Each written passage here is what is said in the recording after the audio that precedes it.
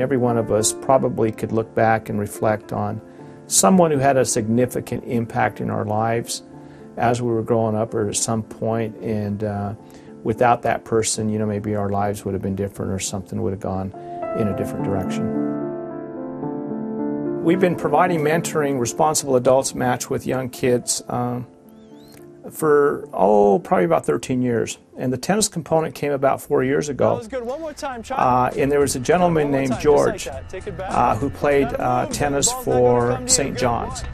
a very good tennis player and actually was a, a, tennis champion in his own right. Told him of my interest told him about my interest in, in coaching the uh, uh, some some kids uh, doing some you know some volunteer work and uh, they actually told me that Judge Valdez had some had some kids that were uh, that, that, he was actually interested in putting a program together like that too as well. So it all came together. And so I kind of lucked out that this guy just sort of came from nowhere, and he's been doing that for four years now. He meets with the kids every uh, Monday okay, uh, for an hour at Liberty Park, and in the wintertime in the bubble.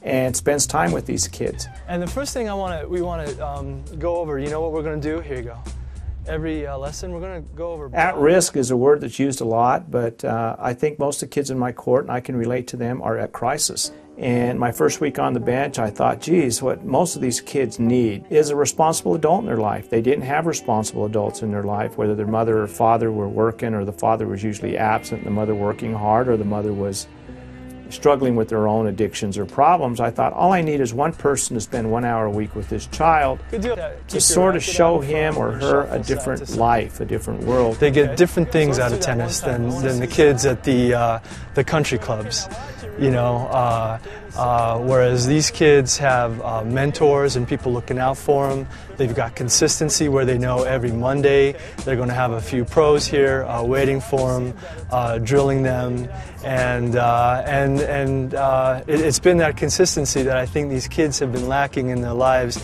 And when you tie that in with the sport, it just it, it you know it makes it all that much better for them. And of course, you know we don't expect to develop tennis champions. But what we do expect to do is give the kids a different uh, world to live in for that one hour, make them go to a park, uh, teach some character, uh, some socialization school, uh, skills, those kinds of things. So, and, and, it is really one of the sports out there that you can play until until you're 100 years old. You know, and you don't need to put a team of 20 people together, and you could just uh, you know find a pickup game in any public court, like Liberty Park here. I guess to simplify it as much as I can, it worked for me when I was young. I had someone take an interest in me when I was a little boy and took me off the streets and uh, mentored me and uh, taught me how to play tennis and uh, opened up my world. Uh, before I met this man uh, and before he took an interest in me, I hadn't been out of a nine block radius of where I grew up. Uh, and through his act of kindness, basically changed my world. But he, he wanted me to play tennis. And the reason he wanted me to play tennis is because he knew that uh, tennis would uh, make me focus on different uh, uh opportunities. Uh, I had an opportunity to uh, experience educated people. People who solved problems nonviolently, people who drove nice cars, who had nice clothes, who seemed to be living a lot easier than we were. And he, uh, and he emphasized to me that you can have this stuff that these folks have, uh, but you need to go to school. Uh, you can't fight anymore. You can't solve problems through violence. And uh, the whole world is a world of possibilities for you if you, you know, obey rules, uh, you're, you're honest, you have good character, and you go to school and you become an educated person. Keeps me busy. Yeah and out of trouble. They actually like me being in these programs because yeah. I'm I haven't been in trouble for a long time. Keeps me busy. That's all right. When somebody said, "Hey, how'd you like to come out and play tennis?" Like, oh, that's gonna be too boring. But are you still finding it boring? No, not really. Nice serves. You stayed out of trouble? Yeah. Why do you think it is? I don't know. I just don't want to fall back in my own footsteps, in my old footsteps. Yeah.